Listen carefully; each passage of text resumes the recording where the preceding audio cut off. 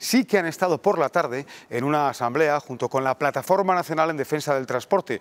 Recuerdan la que ya paralizó gran parte de España en 2022 y que acaba de anunciar un paro indefinido también.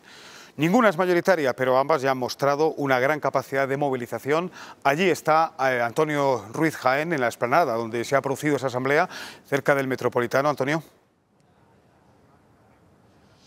¿Qué tal, Roberto? Aquí, tras esa asamblea que ha congregado a medio millar de asistentes, se han producido algunos momentos de tensión entre algunos de esos manifestantes que se han quedado y han intentado bajar el terraplén que está anexo a este estadio metropolitano, intentando acceder y cortar la M40, pero los agentes antidisturbios les han interceptado. Sea como fuere, tras esa asamblea, la Plataforma Nacional del Transporte, como decías, defiende las movilizaciones agrarias y convoca desde ya desde esta misma medianoche un paro indefinido. Habrá que ver en cualquier caso qué consecuencias tiene en los próximos días y claro, qué seguimiento real tiene.